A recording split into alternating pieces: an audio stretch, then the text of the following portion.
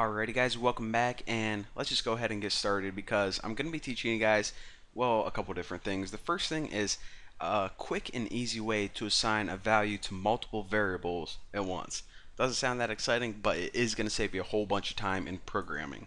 So let's just go ahead and make a couple stupid variables, int a, int b, int c, and of course, whenever we want to assign a single value, to all of these variables. I don't know, maybe we're making a game and every player start, starts out with the same amount of points or these are like a bunch of monsters with the same amount of health or something.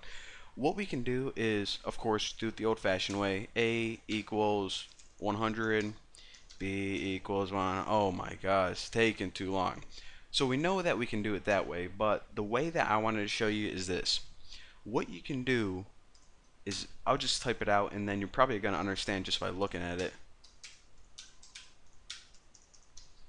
So what this is going to do is it's pretty much just going to read it from right to left. So what your computer sees is this. Take the value of 100 and assign it to C. So now C equals 100. So whenever you do this, take the value of C, which is 100, and assign it to B. B equals 100 take the value of b, which is 100, and assign it to a. So now all of your variables, a, b, and c, equal 100. Don't believe me? You shouldn't, because I lie a lot. But anyways, I'll prove this one to you. So let's just go ahead and put, uh, I'll just print out the, won't do anything fancy here. Percent %d, and a, b, c, good to go. So let me print this out and check it out. 100, 100, 100.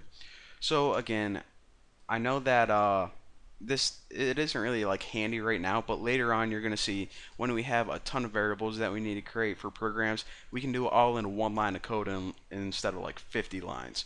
So let me go ahead and delete this stuff right now. And let's actually put this to use and let me, I don't know, I'll make like a quick program that can calculate the average ages or something. So say that we had like three people and we wanted to calculate their average age.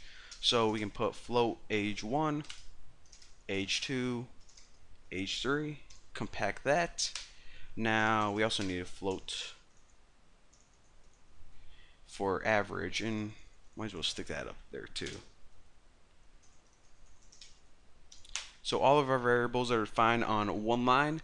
Now, of course, let's go ahead and um, just go ahead.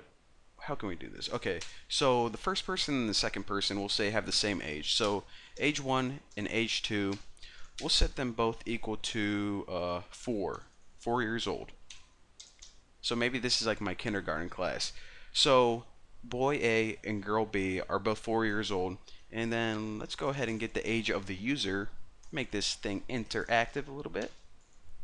And we'll just say enter your age, bust that on a new line. And of course we need to give them a way to actually enter their age if we're asking them for it. So again, what they're going to enter is, is stored in a float. It's actually going to be stored in this age 3. So percent %f and remember also that whenever you use a variable that's not an array, then you need to use that little ampersand and we're going to store whatever value they entered in age 3. So now we have all the data that we need. We only need to make one other calculation and that's average. And of course we know how to figure out averages. Age 1 plus age 2 plus age 3 and take that entire equation and throw it over 3 and that's going to give you the average age. And now we just got to print out the result on the screen. So we'll say and we actually probably want to put this on a new line as well. Um, that average age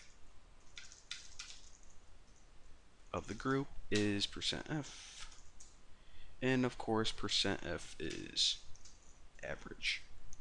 So let's go ahead and run this bad boy. And check it out. Nothing is happening because my computer is freaking slow. But eventually it says enter your age. So how old was I in kindergarten? I think I was um uh, 42 and hit enter and it says the average age of the group is 16.666 okay i'm old i freaking get it well basically you know my age guys that's not even important don't worry about it what i want to teach you is how we can pretty much compact our code make it a lot neater and save ourselves a whole lot of typing. So that's how you do it. Cool little program to figure out your average age. And uh, well thank you guys for watching. I'll see you later